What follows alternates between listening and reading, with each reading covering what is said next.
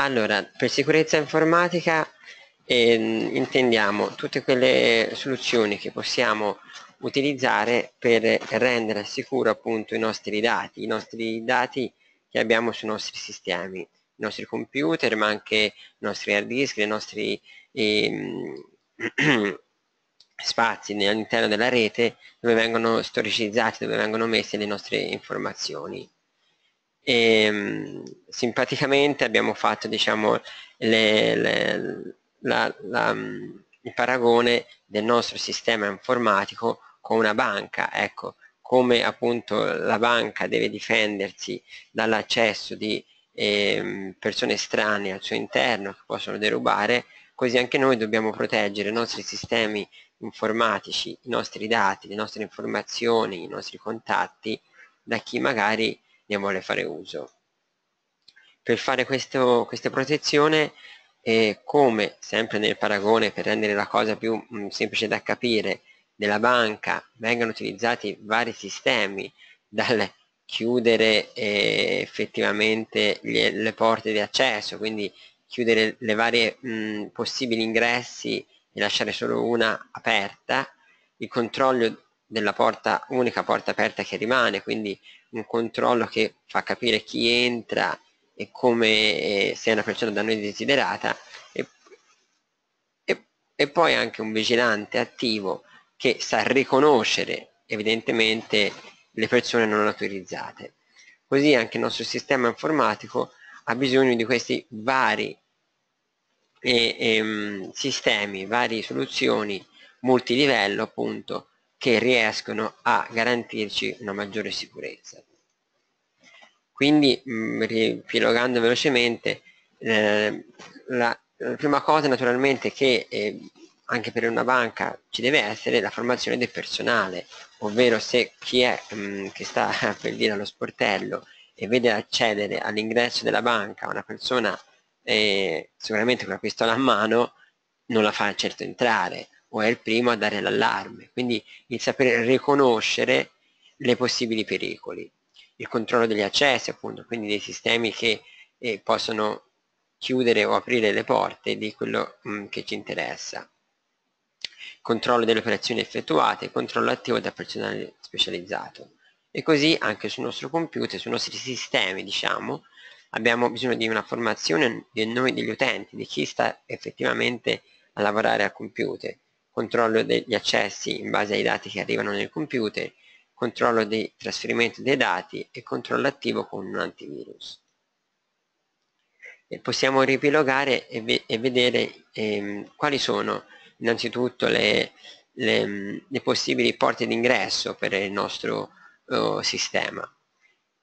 Fisicamente i nostri computer hanno due porte d'accesso, diciamo, si possono riassumere i porti trasferimento dati USB, quindi tutte quelle periferiche che colleghiamo noi fisicamente alla macchina e che ci aiutano, ci permettono di trasferire documenti, trasferire immagini, trasferire informazioni può capitare che un cliente, un amico, una persona mh, arrivi nel nostro studio, nel nostro eh, ufficio, nella nostra azienda e ci dica guarda devo stampare questo documento, me lo puoi stampare? Guarda ti ho portato la relazione del mese, ti ho portato mh, questa documentazione, tieni te la passo, ci dà la sua chiavina USB, la sua pen driver USB noi la colleghiamo al nostro sistema mh, informatico, al nostro computer e oltre a trasferire magari dato da noi interessato o andare a fare la stampa voluta, senza che ce ne accorgiamo, se non abbiamo le dovute precauzioni, al suo interno passano nel nostro computer anche degli altri programmi, anche dei virus, anche magari appunto dei mh, programmi lì latenti su questa chiavina, magari derivanti dal sistema infetto di questa persona ci vengono trasferiti alla nostra macchina. Oppure il metodo diciamo sempre più diffuso e che maggiormente mh, miete danni ovvero tramite eh, accesso di dati con la scheda di rete wire wifi cioè sia cavo o wifi. Ovvero mh, la scheda di rete è quella che cosa ci permette di fare?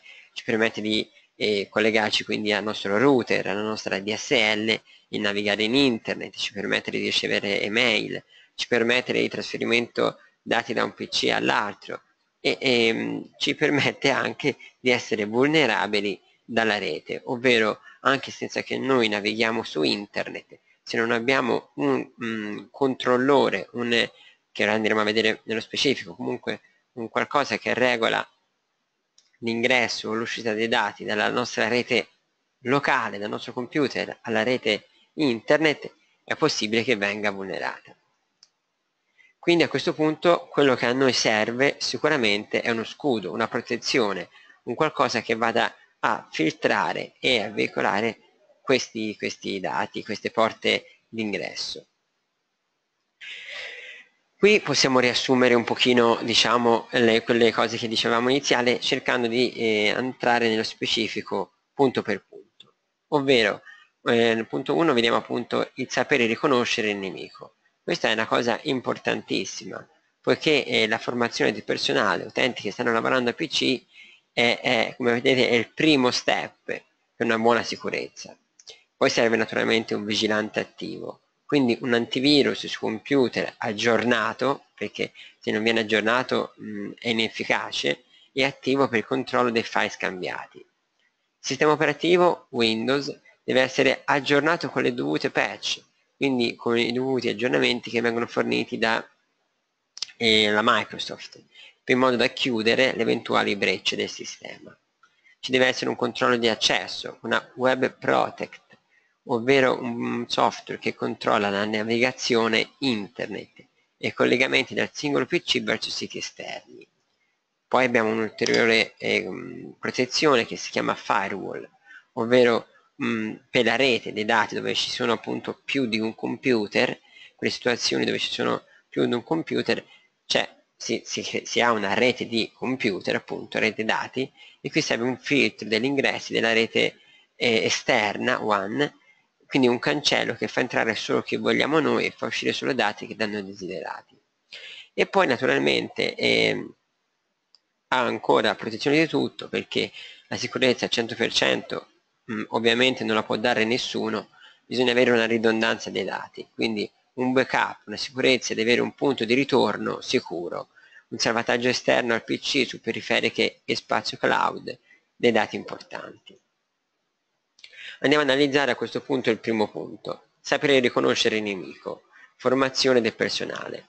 Vediamo, ecco, mh, questo è un primo passo, naturalmente poi la formazione mh, deve essere una cosa continua, non si può limitare a, queste, a questa piccola ora di, di, corso, ecco. È bene uno che poi si informi, legga, oppure anche semplicemente ci possa chiamare e chiedere informazioni in merito. È sempre meglio nel dubbio effettuare una telefonata, chiedere un'informazione a una persona specializzata che aprire il determinato allegato, aprire il determinato programma e rischiare, perché il rischio naturalmente è la perdita di tutti i dati. Iniziamo dalla, iniziamo dalla prima regola. Usare sempre la testa. Ecco, ricordare sempre che la migliore difesa è la nostra intelligenza. Se ci troviamo di fronte a comportamenti strani o insoliti, teniamo sempre un comportamento vigile, vigile su tutto ciò che facciamo Faccio un esempio, può succedere che metti caso mh, mm, scarichiamo un software, un programma da un sito internet, magari un sito anche sicuro, scarichiamo un programma che ci può servire per eseguire dei controlli, per mh, mm, trasformare dei file, insomma, e, e alle, mh, mm, a prima apparenza lo, lo, andiamo a eseguire, doppio clic, ma a video non vediamo nulla. Può capitare, no? Dice, ma non è, non è partito però subito iniziamo magari a vedere il nostro hard disk, il nostro computer che inizia a lampeggiare, inizia a lavorare. Vediamo che quando ci muoviamo col mouse o quando andiamo a fare altre cose inizia a essere molto appesantito, inizia quasi a rallentare. Ecco, evidentemente in quel momento è successo qualcosa, è, è un pericolo, è, è una fase diciamo insolita, non è una cosa normale nel lavorare quotidianamente. Evidentemente visivamente non riusciamo a vedere nulla, non ci sono messaggi, però ne, all'interno del programma si sta eseguendo dei, dei, software. Ecco, in questo caso conviene sicuramente eh, cercare di bloccare questa esecuzione, quindi eh, con il control alt cancel, i comandi della tastiera che fanno aprire il task manager dove vediamo le applicazioni attive, lo possiamo andare a interrompere oppure nel dubbio e nel proprio se vediamo che la cosa si sta aggravando andiamo a spegnere il sistema in modo da fermare questa esecuzione, quindi spegniamo il computer e chiamiamo l'assistenza. Questo ecco, è uno dei possibili scenari dove vediamo appunto dei comportamenti strani o insoliti. E continuiamo a leggere, dice eh, molto spesso le trappole che altri preparano per ignari o disattenti utenti sono facili da rivelare, altre volte sono invece, invece delle regole fatte a regola d'arte. Eh, un livello di attenzione sempre elevato ci può permettere di evitare il peggio. Infatti solitamente gli attacchi possono provenire da utenti non italiani che sfruttano software per la traduzione della lingua, fare attenzione alla grammatica corretta della frase, ovvero soprattutto di attacchi via email. Eh, questi attacchi non vengono effettuati da persone che stanno fisicamente davanti al computer e loro manualmente inviano le mail, ma ci sono dei programmi apposta che andando a infettare dei server, de, de, dei computer, da lì partano e si mh, auto oh, inviano a delle, delle, delle, liste di email, quindi a, massivamente vanno a replicarsi su tanti ignari utenti. Ecco cosa succede? Per eh, adattare la lingua alle persone dove vengono inviate ci sono dei software che fanno da traduzione li possiamo a volte usare anche noi no? su internet li troviamo che vanno a tradurre i nostri messaggi questi software si stanno sempre di più migliorando però ecco nella traduzione del messaggio può capitare che la grammatica non è corretta quindi evidentemente già arrivare che ci arriva un'email con una grammatica non corretta può essere segno di sospetto, quindi bisogna fare ancora più attenzione. Poi una seconda regola è tenere sempre il proprio sistema aggiornato. Gli aggiornamenti dei sistemi operativi permettono di proteggersi da molte vulnerabilità che ogni giorno vengono scoperte, pubblicate e sfruttate per la breccia dei computer degli utenti. Non aggiornare il proprio sistema rende vano anche l'uso di software antivirus, in quanto se una falla è aperta diventa inutile una protezione tardiva, molto meglio chiuderla e prevenire.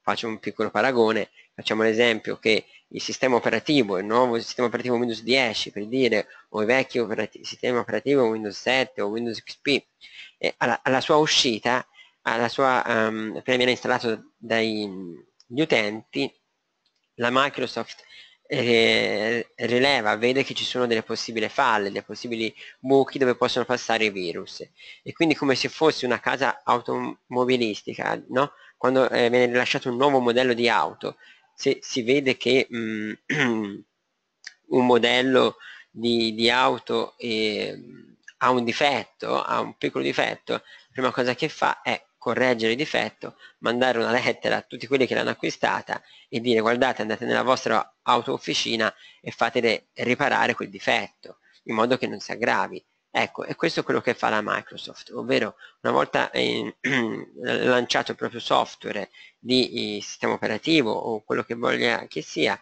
quando si rende conto dei possibili buchi, dei difetti, lancia questi aggiornamenti gratuiti naturalmente che vanno a correggere questi, questi guasti, no? questi, questi falle. Ecco, per questo è importante eseguire l'aggiornamento. Naturalmente questi aggiornamenti a volte sono magari fastidiosi perché vengono effettuati nel momento proprio dello spegnimento del computer o quando uno ha fretta. Quello però, se, ci potete, se ci volete chiamare, insieme possiamo anche pianificare, vedere come pianificare o, o farvi vedere come si può pianificare appunto gli aggiornamenti a un orario o a un tempo da noi desiderato. Terzo punto è proteggere il proprio sistema con antivirus e anti-malware, sempre attivi. Non è più pensabile di utilizzare un qualsiasi dispositivo che si colleghi a internet senza il concomitante supporto di un software antivirus. L'antivirus va sempre tenuto e va sempre aggiornato prima di iniziare la navigazione o il download delle mail. Ecco, quello che appunto è anche importante capire che l'antivirus è, è, un software che al giorno d'oggi non, non, non, non può mancare, perché è colui che ci aiuta a fare quello che fa il vigilante nella banca, cioè a riconoscere una possibile infezione, un possibile mh, mm, utente non è riconosciuto, non è voluto nel nostro sistema. Noi non abbiamo e le, e le, le, le, capacità di riconoscerlo, mentre questi programmi hanno, sono proprio sviluppati e vengono aggiornati, quindi gli viene date le informazioni che gli permettono di riconoscere questi virus. Non scaricare, non scaricare da sconosciuti. Se qualcuno mi invita a lanciare un file senza un motivo sul vostro computer e voi lo fate, quello non è più il vostro computer. L'esecuzione dei file è sempre una procedura da tenere sott'occhio, specialmente se non siete stati voi a scaricare il suddetto file. Ovvero mh, mm, andiamo a scaricare eh, mh, mm, andiamo a navigare su un sito, ecco, un sito magari che non conosciamo, un sito che ci hanno detto di, che è sicuro. Mentre andiamo su questo sito può capitare che eh, si aprono altre finestre. Queste finestre noi non abbiamo richieste, quindi in automatico ci vengono presentate. Magari in questi messaggi che eh, scritti in queste finestre c'è scritto attenzione, il tuo sistema è infetto, clicca qui per scaricare eh, l'antivirus gratuito o clicca qui per pulire il tuo computer. La persona ignara che magari ehm, si fida ecco, un pochino troppo, dice di sì è quell'atto che fa entrare veramente il programma infetto o il virus in questione. Perché eh, è proprio quel messaggio ingannevole che ti propone gratuitamente e comunque così facilmente di scaricare un software che tu neppure cercavi perché magari stavi navigando per altre, altre cose e in quel momento lì che ti entra un, un software non autorizzato e non sai neppure da dove lo stai scaricando realmente sulla tua macchina. Andiamo avanti, abbiamo altre 8 regole, altre 4 regole, poi finiscano, eh, che non vogliamo essere troppo eh, a, a, leggere qui. Allora, 5. Filtrare la propria posta elettronica con software anti-spam. Questo è un problema che abbiamo, hanno molte persone e al giorno d'oggi ci sono varie soluzioni, eh, soluzioni. Anche noi come Gianni Mila ehm, abbiamo um, diverse soluzioni per in, proteggere a più livelli anche la posta elettronica. Naturalmente il primo consiglio che di solito diamo è sentire il proprio fornitore di posta elettronica, il quale anche lui mh, a monte di, di scaricarla sul computer di solito ha un anti-spam o un antivirus. Ma se questo non bastasse possiamo anche noi ehm, inserirci sempre prima del vostro sistema, prima del vostro computer, per bloccare o limitare lo spam. Lo spam intendiamo tutte quelle mail massive che vengono inviate e la più delle volte per pubblicità o per eh, appunto far scaricare software eh, malevolo. Mm, la maggior parte infatti dei pericoli è veicolata tramite messaggi mail. Attivare un software anti-spam localmente o in cloud, quindi in uno spazio internet, che previene ai messaggi potenzialmente pericolosi di eseguire il proprio codice maligno. Non cliccare su allegati o link presenti sulle mail, inaspettate o sospette. Fare attenzione agli indirizzi email di provenienza, leggendo per intero il loro indirizzo.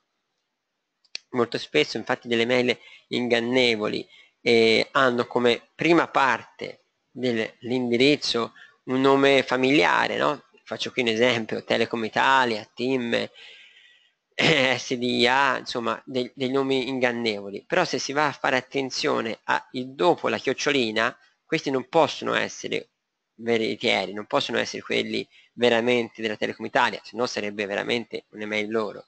E quindi ecco, fare sempre attenzione alla parte a destra della chiocciolina che ci fa diciamo ci può dare un campanello d'allarme sulle sulla correttezza oppure no del mittente. E un'altra cosa che vi volevo dire appunto che eh, soprattutto tramite email eh, ci sono più, mh, vengono fatti gli attacchi di eh, phishing ovvero mh, quelle mail che ehm, si spacciano per veri eh, siti tipo per la carta di credito per conto corrente postali o, o, via dicendo e ti dicano magari guarda oggi abbiamo un blocco del sistema clicca qui quindi mettono dei loghi dei disegni fasulli ti fanno finta di far capire di, di essere veramente sul sito della banca in questione e ti chiedono le credenziali infatti ecco il loro intento qual è? quello di storgere di, di prendere nome utente e password dei vari conti correnti, delle varie eh, caselle postali o dei vari eh, servizi che uno può avere su internet. La persona, il malcapitato, pensa di essere su un sito sicuro, pensa che dal link che è arrivato via email, stiamo parlando, lui ha cliccato sulle mail, si è aperta questa pagina, lui pensava di navigare sul sito della carta Visa, mettiamo, mettiamo invece se si va a leggere bene gli indirizzi, se si va a vedere bene nel dettaglio, magari non è il sito che mh, veramente noi stiamo cercando e ci vengono derubati i nostri dati. Quindi è importante leggere sempre tutto quello che viene visualizzato a schermo. L'utilizzatore che non legge messaggi visualizzati a schermo è destinato prima o poi a fare errori. Occorre sempre leggere tutto quanto e se qualcosa non è chiaro non accettare mai le proposte visualizzate, soprattutto le finestre pop-up, le finestre piccoline che si aprono durante la navigazione in internet in automatico. Un'altra cosa da fare attenzione è la navigazione col suffisso HTTPS, notare appunto la ultima S. Infatti questo mh, protocollo che troviamo sugli indirizzi internet è, è, in, in alto dove c'è l'indirizzo, no? esempio www.gianimila.it, prima abbiamo HTTP, ma perché noi non dobbiamo scambiare informazioni eh, riservati, non c'è uno scambio di informazioni appunto importanti per gli utenti, ma è solo un sito dove si va a vedere, a leggere delle informazioni. Mentre se si va sul sito della vostra banca, del vostro ehm, conto online, sicuramente fate caso che la parte iniziale sarà HTTPS. Questo vuol dire che vengono utilizzati dei protocolli di sicurezza elevati e tutti quei dati che vengono inseriti vengono criptati in modo da non essere intercettati da delle persone malevole, da degli hacker. Quindi ecco, questo eh, prima di inserire i nostri dati della carta di credito, se vogliamo effettuare un acquisto online, prima di andare a inserire i nostri dati del nostro conto PayPal, o eccetera, fare attenzione che ci sia questo protocollo di sicurezza HTTPS. Infine un consiglio questo che diamo un pochino a tutti è di non lasciare mai le password scritte su un foglietto vicino alla tastiera. Questo comportamento equivale a non avere nessuna password. Le password vanno cambiate spesso e devono essere alfanumeriche, quindi formate sia da lettere che da numeri e devono essere mh, con dei caratteri maiuscoli e minuscoli e, e, e il nostro consiglio è a volte utilizzare anche dei caratteri speciali qui c'è un esempio di una password ah, e minima deve essere di 8 caratteri. Facciamo un esempio in questo caso è piccola P maiuscola prova password 2 dollari 1 2 3 ecco questa è una password forse anche un po' esagerata però sicuramente efficace. Il vigilante attivo L'antivirus, sicuramente eh, tutti voi avete un antivirus nel vostro computer, noi come Gianni forniamo principalmente due prodotti antivirus, l'ESET Node 32, un antivirus mh, mm, che oltre ad essere veloce e quindi non rallentare eccessivamente il proprio computer, ha anche al suo interno un anti-phishing, oppure quel discorso che va a controllare le mail, le mail che vi stanno arrivando. E, anche, e a sua volta cerca di bloccare riconoscere e bloccare quelle mail sospette. L'altro antivirus è l'antivirus BRM Agent, un, un, programma sempre attivo sul vostro computer, questo viene installato localmente e può garantire garantisce la protezione a tre livelli, praticamente solo per i file di esecuzione, per tutti i file a rischio, oppure appunto mh, solo file a rischio, oppure tutti i file. Naturalmente per entrambi gli antivirus si possono mettere in pausa durante l'installazione o un aggiornamento di un programma, si può eseguire la scansione, quindi il controllo di una periferica che vogliamo. Mettiamo caso, mh, mm, facendo l'esempio di prima, ci arriva il nostro amico o il nostro cliente che deve stampare un dato dalla sua pennina USB, naturalmente il primo consiglio che facciamo è una volta inserito la cabina del computer prima di andare a eseguire o a copiare dei file, gli facciamo fare un controllo del nostro antivirus. e poi abbiamo qua, è quello che si diceva prima, eh, tenere sempre aggiornato il sistema operativo. I love you patch, ovvero è importante fare questo upgrade di Windows, in questo caso ad esempio di Windows 10 o comunque chi ha eh, vari sistemi operativi, l'importante è sempre mantenere aggiornato, in continuo aggiornamento, il sistema operativo. Controllo accessi. Controllo accessi che nel, nell'esempio della banca era fatto dalla porta a scrigno, no? che, che, quando uno entra eh, c'è il controllo del meta detector, anche noi eh, abbiamo un controllo dei software e del, mh, mm, per controllo accessi dei nostri computer. Questo è fatto dalla Web Protect e che praticamente viene installato sui singoli computer e questo cosa fa? Eh, la possibilità di bloccare l'accesso agli utenti e siti web dannosi contenenti malware, proxy, spyware, hardware, boot e spam, così come siti progettati per eseguire attacchi e phishing. Quindi mh, mm, noi magari non conosciamo tutti quei siti eh, potenzialmente pericolosi, ma questo software che è collegato direttamente online a una lista di database e in continuo aggiornamento dove vengono identificati quei siti ehm, malevoli che possono portare a degli attacchi, possono ehm, fraudare, fregare i nostri dati, a quel punto noi quando andiamo a navigare su internet ci eh, veniamo bloccati appunto da, questo, da questa protezione. Funziona anche da web filter e da um, monitoraggio della banda. O cosa vuol dire? Che praticamente dove c'è l'esigenza naturalmente e abbiamo installato questo software possiamo dire quel computer o quei computer possono navigare solo su alcuni siti o possono navigare su tutto tranne questi siti un esempio, mettiamo caso se abbiamo delle aziende eh, che non vogliono far navigare nei propri dipendenti su siti tipo Facebook, social, quello che vogliamo, noi andiamo a mettere in una blacklist, quindi in una lista nera, tutti quei siti che non vogliamo che nessuno ci vada a navigare e in automatico eh, la persona che va a, lavora a lavorare su internet su quei siti non si rende conto per quale motivo, ma gli viene scritto um, semplicemente proprio l'amministratore ha negato l'accesso a questa risorsa e non riesce ad andare su quel sito. Quindi tutti gli altri siti funzionano regolarmente, uno può lavorare regolarmente, può andare per dire siti di Google, agenzia delle entrate, quello che vuole,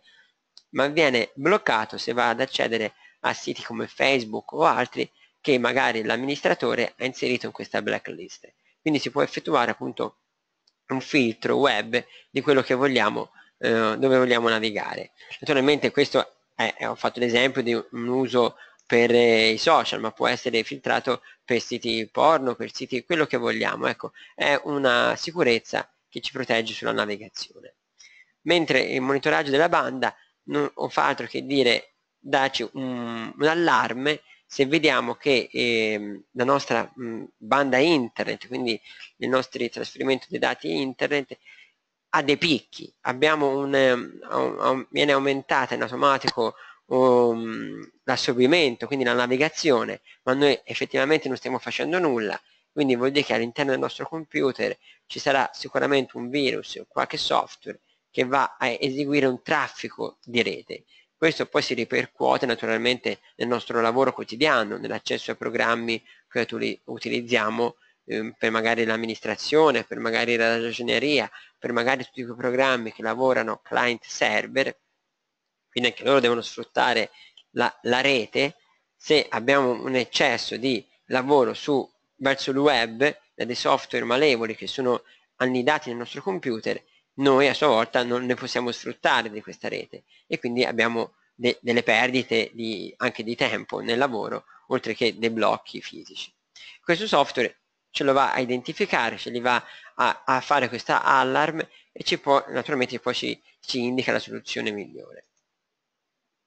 Appunto, sempre nell'esempio, questa Web Protect non è altro che l'agente di protezione web si connette a un motore esterno che si aggiorna continuamente e decide la categoria e reputazione di un determinato sito. Quindi si può filtrare anche per categoria, non, non, non importa filtrare singolarmente per un sito, no? perché uno non è che conosce tutti i siti del mondo, però dice dalle nostre macchine, del nostro studio, dalla nostra azienda, non vogliamo che in certi orari o sempre vengono effettuate delle navigazioni su siti eh, porno oppure su siti social, a quel punto in automatico, scegliendo appunto la categoria opportuna, ci blocca questa navigazione. Il firewall. Il firewall che cos'è? Il firewall è un software o hardware, perché può essere anche fisicamente acquistato, uno scatolottino, diciamo, ecco, che si mette fra il router ADSL, quindi la linea esterna, e la nostra rete.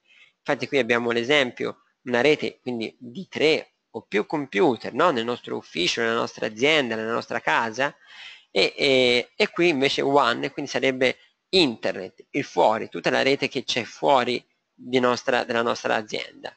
Ecco, il firewall è quel muro che si mette nel mezzo, è un cancello che opportunamente è configurato e più che altro in continuo aggiornamento deve saper scegliere, deve eh, in base alle nostre esigenze fare entrare e uscire dal nostro canale solo quello che noi desideriamo. Appunto non ci deve fare entrare attacchi dall'esterno perché anche se, noi non anche se noi non siamo alla navigazione su internet ma se uno dei nostri computer condividiamo quindi rendiamo um, pubbliche delle informazioni tipo condividiamo il disco locale C condividiamo una cartellina in modo che gli altri computer ci possono accedere no? accedere all'interno della LAN classico è un computer condivide la cartella documenti e gli altri due computer ci vanno ad accedere per poter lavorare sui stessi documenti. Ecco, se non vi è presente un firewall che protegge diciamo, la nostra realtà locale, questi documenti possono essere visti anche da delle persone esterne al nostro studio. Quindi queste persone che dall'esterno possono accedere alla nostra risorsa e rubare, diciamo, prendere i nostri documenti e farci tutto quello che vuole. Naturalmente questo non è una cosa eh, fattibile da diciamo, utenti qualunque, ma da delle persone eh, for formate per questo, cosiddetti hacker, però mm, non è solo questo il rischio, perché c'è anche semplicemente il rischio che dei software tipo virus possono mh, mm, veicolati nella nostra rete in, annidarsi in questa risorsa condivisa e poi da lì partire e fare danni verso terzi. Quindi ecco comunque un firewall è qualcosa che ci filtra, ci protegge e ha necessità di essere in una qualsiasi rete locale. La ridondanza dei dati. La ridondanza dei dati cosa vuol dire? Vuol dire che il backup dei dati è, è la sicurezza di avere un punto di ritorno sicuro, il salvataggio esterno al PC su periferiche o spazio cloud dei dati importanti per lo studio o per l'azienda. Ovvero se eh, purtroppo tutte le cose dette fino ad ora non ci hanno salvato, non ci hanno protetto, non ci hanno reso mh, sicuri, o questa è un'ipotesi, quindi siamo stati attaccati da un virus, abbiamo oh, una situazione critica, abbiamo perso i nostri dati, mettiamo caso. L'unica soluzione, l'unico eh, appunto salvagente che fa la differenza è un backup che fa la differenza perché abbiamo fatto semplicemente l'esempio da un salvagente vero e una ciambella eh, anche un po' sgonfia. Qual è? Perché se il nostro backup che andiamo a prendere magari su un disco esterno USB o magari su una chiavina non l'abbiamo mai controllata, non l'abbiamo mai verificata, andiamo a caso, la, la prendiamo, ma questa è, è vuota, noi siamo sicuri di avere un backup, invece in realtà non abbiamo nulla e quindi rimaniamo nella situazione critica in cui siamo. Quindi backup dati è il salvagente che fa la differenza, deve essere, eh, eh, bisogna, non bisogna essere noi, o comunque eh, chi per noi, essere al corrente di cosa salva e dove salva i dati, conoscere la periodicità del salvataggio, la sua ultima esecuzione, verificare che non si verifichino errori nel trasferimento dei file e che il backup dei dati sia valido. Noi come sempre programma di backup nel nostro pacchetto software che consigliamo, BRM Agent, abbiamo questa soluzione, un backup ehm, che ora vi farò anche vedere nell'approfondimento, andiamo a vedere proprio fisicamente come è fatto, è un software che in automatico eh, noi impostiamo quando vogliamo salvare i dati, con, quindi con che periodicità e, e diciamo che cosa vogliamo salvare. L'unica eh, cosa che deve essere eh, a noi necessario è che la macchina in quel determinato orario sia accesa e internet naturalmente funzionante. Perché? Questo software non fa altro che andare a prendere i nostri dati selezionati e farsi una copia in uno spazio criptato, uno spazio protetto al di fuori della nostra rete, al di fuori della nostra eh, eh, azienda. E infatti questo eh, è un software per la gestione automatica della copia dei dati selezionati in uno spazio criptato e in cloud, ovvero presso una server farm remota. Questa mh, mm, backup si mantiene 28 storicizzazioni, 28 cronologie del salvataggio, con la possibilità di ripristinare, di recuperare o un singolo file, singola immagine, cioè un singolo documento, o l'intera directory, l'intera cartellina gialla, salvato sullo stesso PC o su altri PC. Quindi eh, qui semplicemente vediamo proprio, ci fa visualmente anche vedere un, un calendario con tutti i giorni e quando ha avuto successo, quindi è andato tutto bene, o quando ci sono stati degli errori. Andiamo infatti a vedere un attimo nel dettaglio questo software. Ecco qua una, una nostra macchina, una macchina dove abbiamo installato questo backup manager. Questo è il software di backup che in automatico, una volta installato, esegue le operazioni.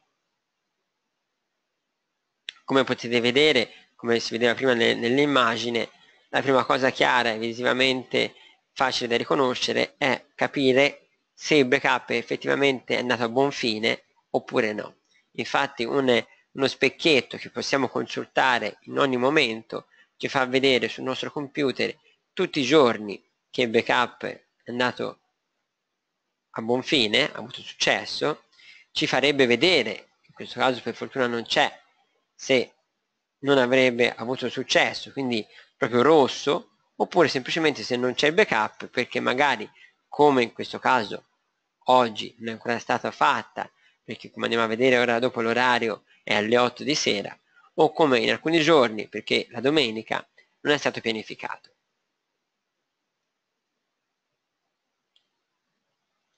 Qua in alto infatti ci fa vedere l'ultimo backup effettuato, in questo caso è stato effettuato alle 20, quindi alle, alle 8 del pomeriggio di 17 10 2016 l'ora qui è americana è messa in modo diverso quindi nel formato 17 ottobre 2016 dice lo spazio che ha salvato i file che sono stati eh, salvati e il totale spazio che noi andiamo a occupare col backup backup che noi inizialmente eh, insieme al cliente abbiamo eh, selezionato, quindi abbiamo scelto delle file o cartelle, quindi semplicemente con un clic possiamo vedere quale file o cartelle vengono salvati, ci fa vedere cos'è che viene salvato e dove si trova, ci fa vedere naturalmente lo spazio che va a occupare e manualmente se noi vogliamo noi stessi aggiungere una nuova cartella, aggiungere un nuovo oh, dato da salvare, semplicemente basta selezionare la nostra cartellina che vogliamo con un clic, mettere il baffettino, dire salva e lui nella prossimo backup che va a fare o anche immediatamente se clicchiamo sul pulsante run backup quindi avvialo adesso ci va a eseguire da ora in poi anche le cose nuove che abbiamo selezionato di salvare restore ci fa ripristinare. Io ho fatto l'esempio che eh, siamo stati infettati da un virus, per questo dobbiamo ripristinare dei file, ma gli esempi possono essere molteplici, semplicemente lavorando il mio collega, il mio dipendente ha cancellato un file importante, un, un preventivo o quello che magari a noi ci interessava, l'ha cancellato dal cestino e non è più recuperabile. Ecco, questa è magari una situazione che può succedere anche con più... Eh, con più, eh, può essere molto più facile che capiti, ecco. E, e, e, questa qui è una soluzione che si può risolvere semplicemente andando su questo software, selezionando quale giorno ripristinare, perché come vi ho detto abbiamo 28 salvataggi al nostro interno, e questi qui non, non, non vanno a occupare uno spazio del nostro computer, non vanno a occupare un nostro disco locale, non vanno a occupare una periferica USB collegata che deve essere collegata. Questi sono dei salvataggi che vanno a occupare uno spazio internet, quindi al di fuori del nostro studio, sul nostro server, sui nostri server del nostro fornitore, opportunamente naturalmente criptato che nessuno può accedere, solamente voi stessi. Io posso dire il file che è stato cancellato può capitare, no? Non ce ne siamo accorti oggi. È stato cancellato ieri. Ah, quindi io non posso prendere il backup di ieri sera alle 8, perché se è stato cancellato ieri, ieri sera alle 8 quel file non c'era già più. Quindi io semplicemente grazie a questo strumento posso andare per dire ah, al giorno ancora prima, ora ieri per appunto era eh, lunedì, quindi se ritorno domenica non lo fa, vado a, a sabato e dico ok, lo ripristiniamo a sabato. E quindi io sabato ci riavrò il mio file che il mio collega per sbaglio ha cancellato, io vado a cercare, dov'è questo file, dico era, era questo, ho cancellato questo file per sbaglio, ok, me lo ripristini, me lo ridai, ok, lui ti chiede dove lo vuoi mettere, io dico lo voglio che mm, venga rimesso sul mio computer C, oppure voglio che venga rimesso nello stesso posto di prima, oppure voglio che venga messo sul mio desktop. Ok, dando il tasto Restore, noi, come avete potuto vedere, ho fatto velocemente, quindi in un quarto d'ora neppure riusciamo a ripristinare un file, un singolo file, che magari per noi ci cambia un'ora di lavoro, perché era un preventivo che abbiamo dovuto fare eh, molto importante. Ecco, comunque, per farvi capire con facilità e che l'utente finale, quindi direttamente voi, senza dover chiamare l'assistenza, potete fare per ripristinare dei file cancellati oppure danneggiati. L'ultimo esempio, poi ecco, non mi voglio dilungare troppo, però mettiamo caso che le nostre macchine, i nostri server eh, non ci sono più. o un incendio, una rapina o quello che volete, facciamo sempre gli scongiuri, però non abbiamo più i nostri computer. Dice, vabbè, non abbiamo più neppure questo software, ok? Ma non, non c'è problemi, perché da mh, qualsiasi altro computer, oppure noi per voi ci potete chiamare, possiamo andare sul sito di, questo, mh, set, di, questo, di questa protezione, di questo eh, online backup, possiamo selezionare con la dovute password il vostro backup e noi ripristinare quindi su altre macchine i dati che voi avete perso. Quindi ecco, vi fa capire che anche in mancanza fisicamente del, delle vostre macchine, una volta che questi backup hanno, eh, ci sono creati, possono essere ripristinati dove vogliamo. E quindi abbiamo la sicurezza di avere i nostri dati in un posto, in una cassaforte sicura per 28 giorni, che poi si rinnovano di volta in volta. Naturalmente nelle preferenze possiamo andare a dire semplicemente quando vogliamo che venga effettuato il backup. Naturalmente come vi ho detto l'unica cosa è che la macchina deve essere accesa. Quindi a, a computer acceso, server acceso, gli possiamo dire guarda il backup farlo in automatico tutti i giorni alle 8 di pomeriggio, quindi alle 20 di sera, oppure farlo in un altro orario che ci piace. Quali giorni lo vuoi fare? tutti i giorni della settimana, tranne la domenica, oppure solo un giorno. Questo lo andiamo semplicemente a selezionare noi insieme a voi al momento dell'installazione o lo potete variare anche voi manualmente, salvando poi l'impostazione. D'altro canto, anche noi che vi, vi seguiamo eh, come assistenza con questo software, abbiamo eh, a tempo stesso un report, quindi possiamo vedere come eh, si sta effettuando i vostri backup. Infatti vedremo eh, l'azienda, in questo caso siamo Gianni Mila, se no potrebbe essere l'azienda vostra, il vostro computer, e vedremo se il backup con questo report semplice è andato a buon fine. Quindi anche noi vi possiamo chiamare e dire guarda ehm, cliente eh, hai il tuo backup che è da due settimane che non funziona oppure non è stato salvato quindi anche noi che vi, mh, curiamo per questo software possiamo ricevere dei messaggi di eh, allarm se vediamo che ad, un giorno non è stato effettuato che magari ecco, un giorno può essere anche normale perché per qualche motivo il computer era spento, ma se vediamo che nel giro di una settimana questi flag verdi sono sempre rossi perché non hanno funzionato, perché non è stato effettuato il backup, a questo punto sicuramente vi telefoniamo e vi diciamo guarda attenzione perché il tuo backup non, si sta, non sta funzionando. Questo appunto è eh, cruscotto che noi installando questo software di eh, backup mh, mm, vediamo eh, quotidianamente.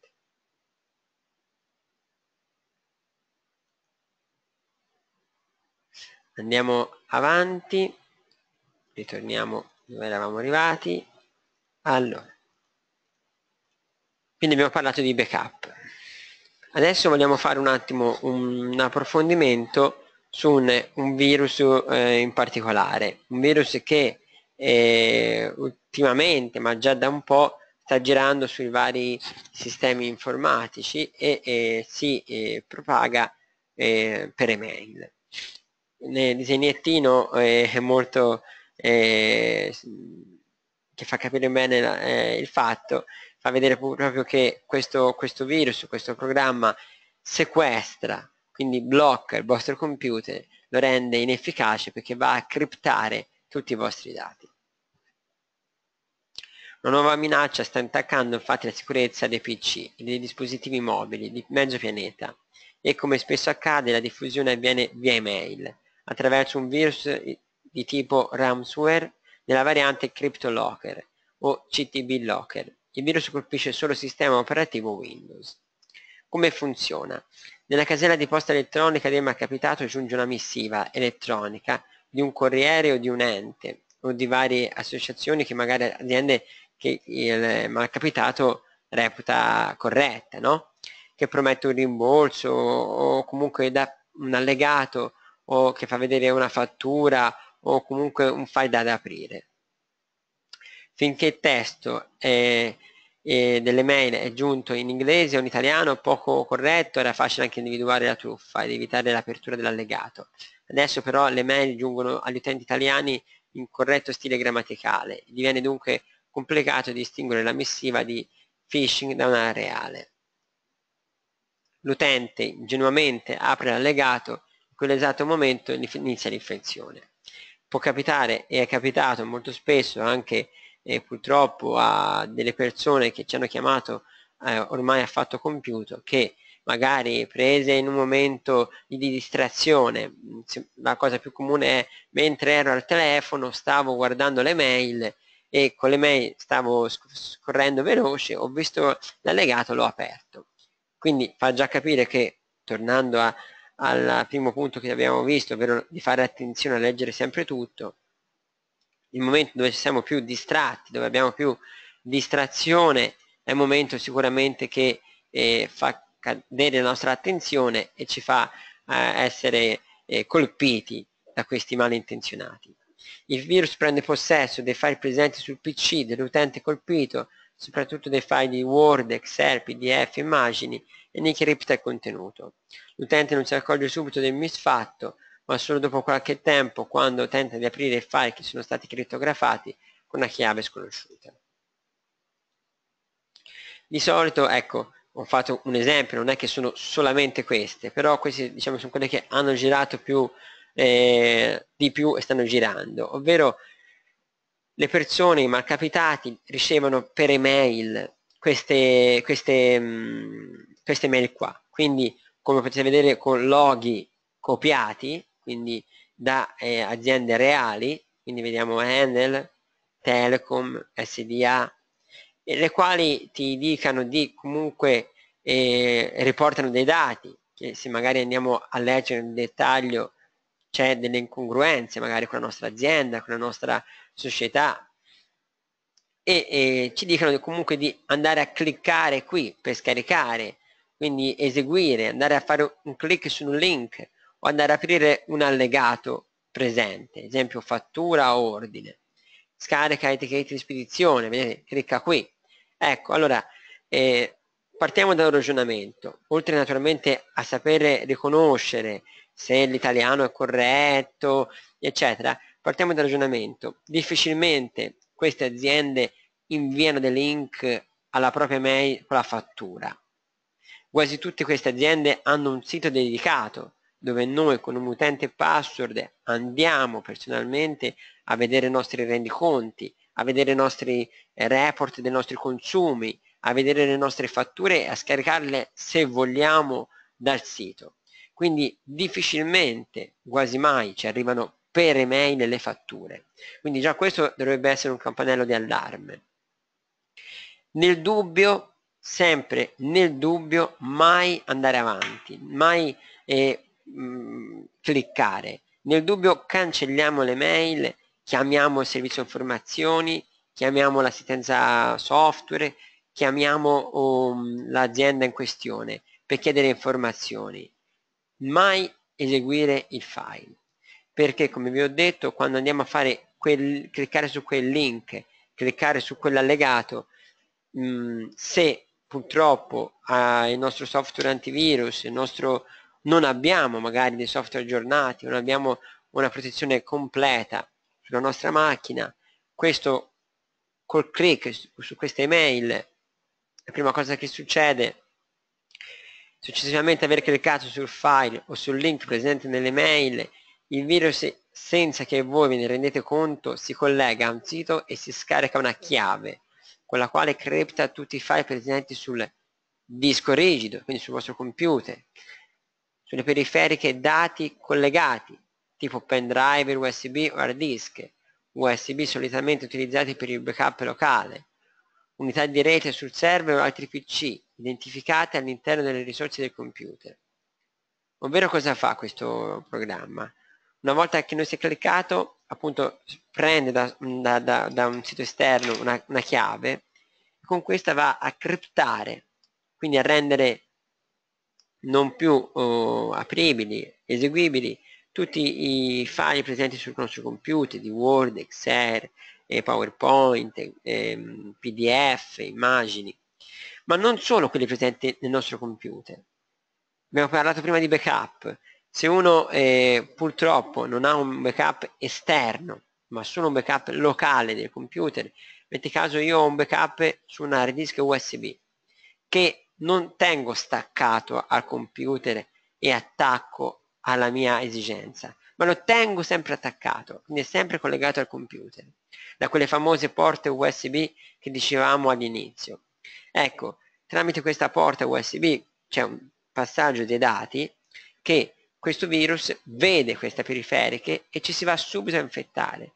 Quindi eh, eseguiamo il danno e anche la beffa perché veniamo mh, danneggiati su tutti i dati presenti nel computer e anche il backup dei dati che abbiamo, ahimè, sempre collegato alla macchina, viene anche quello danneggiato. Quindi perdiamo anche la risorsa che ci poteva salvare. Per questo è importante avere un backup al di fuori del nostro computer, scollegato dal nostro computer e in più se abbiamo uh, vari computer collegati insieme, quindi una rete, e fra di loro si riescono a vedere, io vedo il C dell'altro computer, vedo la cartella documenti dell'altro computer, questo virus sfrutta questa risorsa, sfrutta questo canale per propagarsi anche nell'altro computer e andare a criptare tutti quei file. I file risulteranno quindi illeggibili e non più recuperabili. Il virus a questo punto termina il suo lavoro con un riscatto, con la richiesta di un riscatto, sotto forma di una somma di bitcoin, una moneta di scambio utilizzata in internet e facilmente anche difficilmente rintracciabile. Pagare tale somma è sconsigliato poiché non ci sono garanzie sul recupero dati sicuro. E finita appunto questa infezione, ecco che compare questi messaggi o simili a questi dove ti dice guarda i tuoi documenti, foto, dati e altri file importanti sono stati criptati con la crittografia forte e chiave univoca generati per questo computer. Chiave di privata di decodifica, de, de, decodifica è memorizzata su un server segreto e nessuno può decifrare i file fino a quando si paga per ottenere una chiave privata. Hai solo 96 ore, quindi parte un timeout fino a, a, a, a che non è, ti tolgono questa possibilità. Ecco, sicuramente, come vi ripeto, pagare non è la soluzione, anche perché non è detto che poi pagato questa somma di denaro, di solito si eh, equivale sulle 500 euro, non, eh, non porta a nulla, non, non, vi dà la sicurezza di riavere i vostri eh, file e andiamo a alimentare un, un giro di malavita che si fa sempre più strada. Quindi la soluzione sicuramente è una, avere una protezione, come dicevamo prima, avere un, un, uno scudo che ci protegge da tutti questi fattori, da tutti questi rischi. Noi in questo caso vi proponiamo la soluzione Buffetti Agent, BRM, Buffetti Remote Management, che racchiude con un solo software vari programmi. Questi programmi possono essere attivati tutti o solamente alcuni. Mm, la, la domanda più comune è io ho già un antivirus, e metti caso anche lo stesso EZ932 o altri antivirus, però mi interesserebbe questa soluzione perché mi interesserebbe avere comunque un backup dati sicuro esterno al mio computer, mi servirebbe comunque una web protect, quindi una protezione per la navigazione dei siti, quindi per una navigazione sicura. Mi interesserebbe avere una gestione automatica degli aggiornamenti di Windows, quindi un programma che mi eh, consiglia e mi fa eh, scegliere quali aggiornamenti fare. Avrei un, bisogno di un controllo eh, dell'hardware del computer, quindi eh, noi si può attivare solamente qualche pacchetto che vogliamo di questo sistema o anche tutti direttamente sulla vostra macchina o più di una macchina. Naturalmente rimaniamo a disposizione per l'analisi e la sicurezza della vostra, della vostra azienda, però vi voglio far vedere mh, nel dettaglio anche come, come funziona questo, eh, come è fatto appunto questo buffetti agent.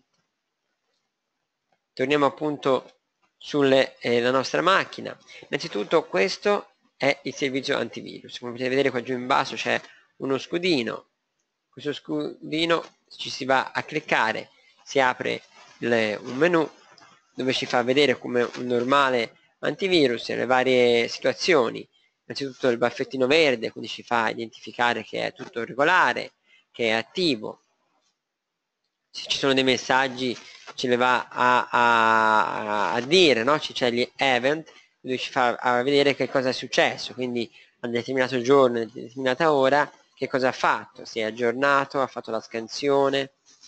Security, semplicemente possiamo andare a dire con mh, mm, dei tasti molto semplici se effettuare un mm, controllo veloce del sistema, quick, di fare una, un controllo completo del nostro computer, oppure custom, quindi eh, andare a selezionare manualmente con che mh, mm, aggressività, quindi con che e, e magari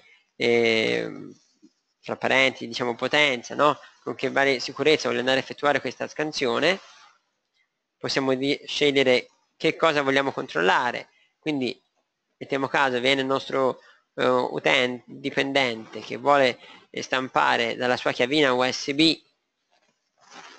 degli, degli allegati io prima vado a fare un controllo next della sua chiavina. Quindi vado a vedere che nella sua chiavina non ci siano infezioni. A questo punto, quando la macchina mi ha, mi ha dato comunicato, il software, che il sistema è sicuro, io procedo poi a collegare, a, a salvare i suoi dati sul mio computer, stampare o a fare quello che vogliamo. Naturalmente poi viene dato un risultato, un report di tutti i file controllati e nel caso eh, ci presenti un'infezione. Questa è la parte semplicemente dell'antivirus, del pacchetto BRM. Poi andiamo a vedere gli altri software. Abbiamo già visto Web Manager, um, The Backup, quello che abbiamo visto prima. Poi abbiamo praticamente questo riepilogo. Noi che eh, una volta installato il software sulla vostra macchina, noi come assistenza eh, software di questo programma riceviamo per il vostro computer una serie di reportistica, dei controlli che vengono effettuati. Quindi possiamo vedere se c'è problemi di vulnerabilità, quindi se c'è bisogno di fare degli aggiornamenti, vediamo se il vostro spazio disco ehm, si sta terminando. Ecco che subito un, un grafico ci fa vedere lo spazio del vostro disco pieno e quello libero utilizzato e libero. Quindi possiamo renderci conto noi per voi, ma anche voi, perché vi possiamo dare l'accesso anche a voi a questo sito internet dove fa vedere tutte le reportistiche delle macchine o una macchina su quale installate questo software. Possiamo vedere appunto se qualcuno non è riuscito a collegarsi, no? Avete presente quando mh, mm, accendiamo il computer che c'è un utente e una password? Ecco, se qualcuno per tante volte sbaglia la password, viene identificato qua, in questo caso dice il nome che è la persona che ha sbagliato la password e quante volte ha sbagliato la password. Perché questo è importante? Questo è importante perché è una protezione, perché in caso di un attacco esterno, naturalmente chi si attacca dall'esterno non conosce la password, quindi farà con dei software mh, appositi diversi tentativi di accesso alla, al vostro computer, al vostro server. Quindi quando vedremo, in questo caso è un errore umano, no? una volta, ma se vediamo 20, 10, 30 volte e, e accessi negati ma tentati da qualche eh, utente identifica che sicuramente qualcuno sta tentando di entrare sul vostro sistema. Abbiamo poi un controllo delle prestazioni, quindi un monitoraggio attivo delle prestazioni del vostro computer. Vediamo infatti dei mm, indicatori della vostra microprocessore, ci fa vedere quanto sta lavorando, ci fa vedere quindi il carico medio, che, che sta effettuando. In questo caso questa macchina è una macchina multiprocessore, essendo un server che ha mh, appunto eh, quattro processori, un quad core, quindi ci fa vedere le, la potenza in cui stanno lavorando. Anche questo comunque è un campanello di allarme perché in situazioni normali, come potete vedere, la potenza è, è media. In caso di eh, del, mh, potenti, dei, dei, dei programmi che stanno lavorando e non siamo noi, questo, questo ago va a salire, magari anche questo è un campanello che dice ma forse c'è qualcosa che sta lavorando e non siamo noi. Appunto ci fa vedere gli eventi critici, se ci sono degli eventi, degli, degli errori che si sono verificati a livello di Windows. Abbiamo ecco tutta una serie di reportistica che possiamo andare a identificare, andare a vedere sulle macchine su cui abbiamo installato. In questo caso appunto come vi dicevo è sul server, ma abbiamo anche workstation, quindi semplici, semplici computer, dove è installato il nostro software e anche qui abbiamo una serie di reportistiche simili appunto da quelle server dove ci va a identificare come prima lo spazio, il controllo degli accessi o controllo anche di integrità del disco. Se il disco dati inizia a avere degli, dei danni, quindi degli errori, fisici, proprio è un, è un componente, quindi se si inizia a deteriorare o a danneggiare, ecco che ci vengono dati degli allarm in modo che noi come assistenza Gianni Mila vi possiamo chiamare e dire guarda si sta rompendo la macchina, si sta effettuando un danno al tuo sistema, forse è il caso di intervenire prima di essere troppo tardi. E um, un'altra cosa che vi volevo far vedere e eh, appunto è questa eh, di cui si parlava prima Web Protect. Web Protect, ovvero quella protezione web che ci fa anche da ehm, filtro per eh, i siti che noi eh, non vogliamo. Prima avevo fatto vedere appunto l'esempio nelle slide, ma questo qui è praticamente quello che poi andiamo a fare ovvero possiamo vedere per determinata macchina su quale siti questa ha navigato, quindi abbiamo subito un rendiconto di siti su quale è andato, no? come per categoria, come vi dicevo, quindi è stato navigato su un sito business, un sito di computer, due richieste totali, sono state bloccate nessuna, sito web, eccolo qua, eh, su quali siti realmente stato, sono stati effettuati gli accessi. Poi, come vi dicevo, può essere eh, da noi gestito o, o a vostra richiesta, ve lo facciamo direttamente noi, andare a modificare i, diciamo, quello che un computer dove può andare a navigare. Oltre a proteggersi, proteggerci da siti eh, dannosi, siti dove sono presenti magari dei virus, il programma ci permette di bloccare siti di spam, quindi di eh, posta elettronica, dove, mh, mm, dove, dove, si, dove, si, può avere attacchi di posta, tramite la posta elettronica, siti dove c'è del phishing, quindi o, o frodi, no? quei siti dove mh, ci chiedono dei nostri mh, utenti password per eh, estorgere, per copiarcele, insomma. Questo è il famoso filtro per categoria. Possiamo dire che questi computer, ma è stato il programma da noi richiesto, eh, non vadano a vedere siti con violenza, siti con nudità, siti illegali, siti, ecco, abbiamo un gioco d'azzardo. Noi mh, mm, bloccando o permettendo o schedulando a degli orari da noi a piacimento, possiamo dire se questi computer dove è installato il software possono andare a navigare questi determinati siti appartenenti a queste categorie. Whitelist invece sono delle mh, mm, liste sicure, quindi mettiamo caso questo qui che è un fornitore di mobili eh, e viene bloccato perché non è identificato come nessun sito e quindi per precauzione il nostro controllo web cosa fa? Lo va a bloccare.